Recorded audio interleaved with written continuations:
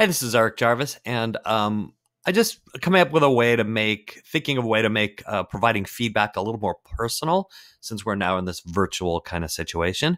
And I was thinking audio comments might be a help in that.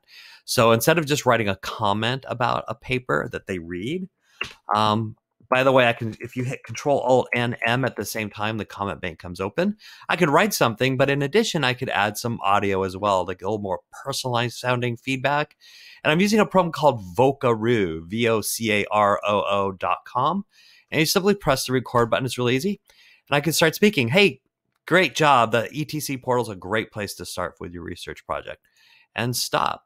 And then I can click save and share and uh, I could embed this on a page if I was using it, or I just copy the copy the link. Just click the copy button here, and pop that in to the comments. And now instead of um, if I hold hold the control key and hit enter, it makes it a comment. I could also provide that. I can make another one. Hey, overall, great notes on your project. Save and share. Copy if I want, I could put it down here on the private comments and then click post.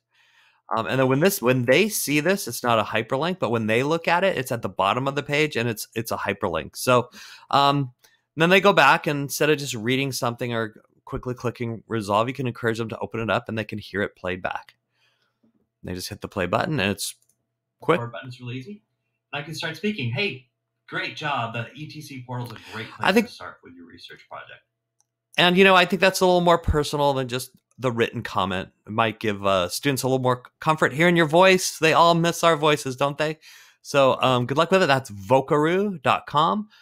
Uh, really easily, some audio instructions. You could paste that link anywhere on your on your quote blog or list your daily agenda or on a Google Calendar or whatnot. So looks like a great tool to use.